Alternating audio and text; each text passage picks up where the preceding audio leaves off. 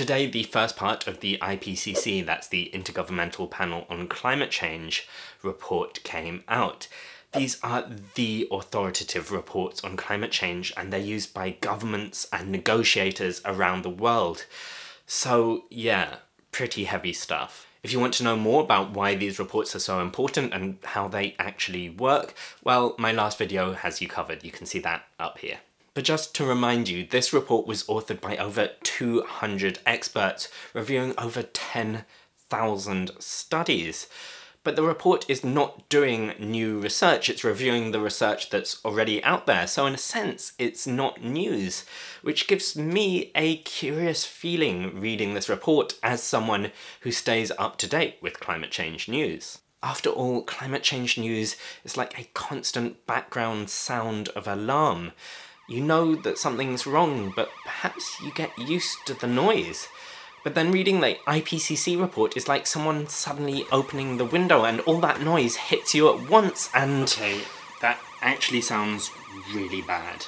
And yeah, even though I have been listening to the alarm for all that time, for the last 10 years at least, the report does still make for deeply troubling reading. Okay, so enough preamble.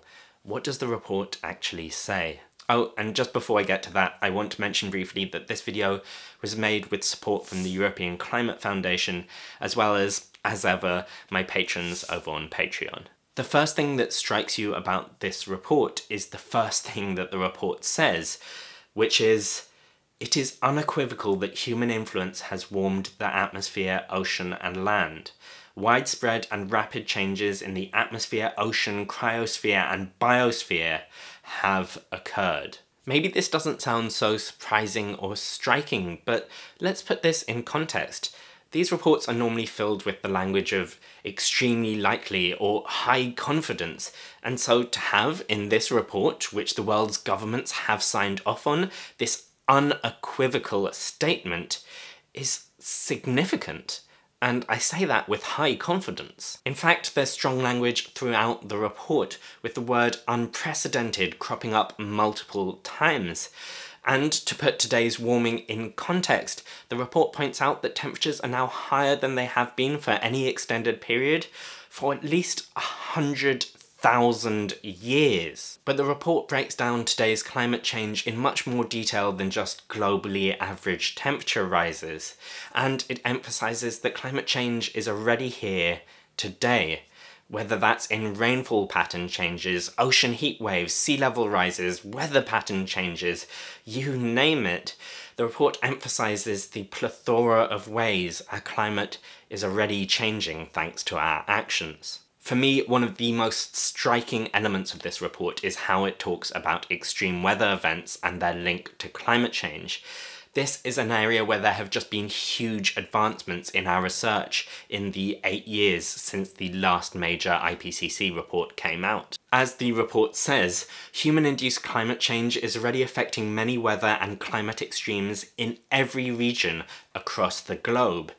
In other words, everywhere everyone on Earth is now experiencing changes in extreme weather events, whether that's in the form of heat waves, downpours, or droughts. But that's climate change today. What about tomorrow? Well, the report makes clear that as long as we keep emitting, the world will keep warming. Or, as the report puts it, every tonne of CO2 emissions adds to global warming. But again, what happens in the future is a question of much more than just globally average temperature. So the more we emit, the more we heat the planet, and the more weather patterns change and the more extreme weather we can expect. Many of the climate changes we're causing now are irreversible. Nowhere is that starker than for the most famous impact of climate change, sea level rise. In fact, sea level is committed to rise for centuries to millennia and will remain elevated for thousands of years. But even so, limiting emissions would limit sea level rise, and that is a crucial point. In this report though, there is discussed a worst, worst case scenario for sea level rise. This is what would happen if we keep emitting more and more and ice sheets collapse due to complex, hard to predict processes. This could see around 2 meters of sea level rise by the end of the century, which would be devastating for coastlines around the world. Now, this isn't considered likely, but we can't rule it out. And speaking of can't be ruled out, let's talk about the Atlantic Meridional Ocean Circulation.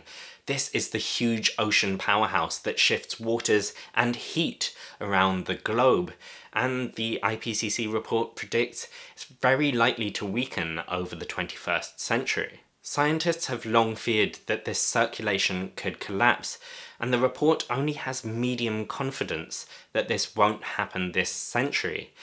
Given how devastating the impact of a collapse would be on weather patterns across the globe, the fact that the report can't confidently discount this this century does not inspire confidence. But all of this depends on how much we warm the planet, and that is perhaps the biggest shock of this entire report. You see, the report considers different emission scenarios to imagine different future climates. These range from catastrophic emission scenarios where we keep emitting more and more, to scenarios where we incredibly aggressively cut emissions to zero and then start removing carbon dioxide from the atmosphere. The thing is that even this most aggressive emissions cutting scenario has it more likely than not that global temperatures will rise by more than 1.5 degrees Celsius. In other words, even if we incredibly aggressively cut emissions, there's a good chance that this limit set by the Paris Climate Agreement as its more ambitious target will be breached. This is not good news. Limiting global warming to 1.5 degrees Celsius is profoundly important for the most vulnerable people and fragile ecosystems in the planet. So I understand that it might be tempting to hear this and think, okay, so I guess that's game over. But that is absolutely not the case. That is absolutely not what this report says.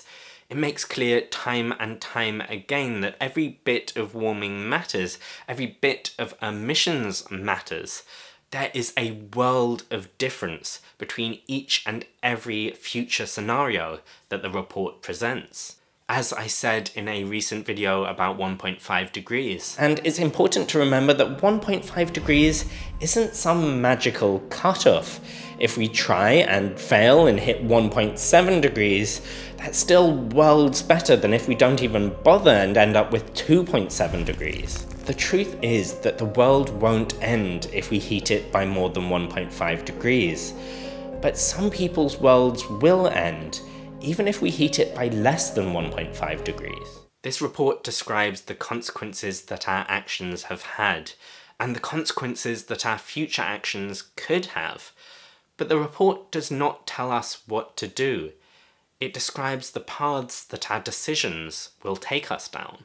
If all this matters to you, then let the people close to you and the people who govern you know that World leaders will be meeting in just a couple of months to take action on climate change, and perhaps together we can choose the path to go down that protects people and planet as far as we possibly can. Now it's time for some important disclaimers. The first is that this is just the first part of the report, which is a part of the reason that it's so bleak. It just describes the physical science basis to our understanding of climate change.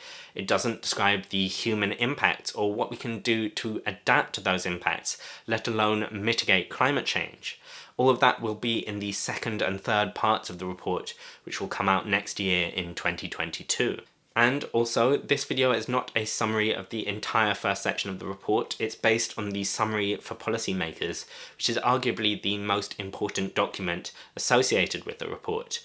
Nevertheless, I am sure I will be coming back to lessons from the main body of the report many times in future videos. If you want to know more, then I have put links in the description to the report itself, as well as several excellent write-ups.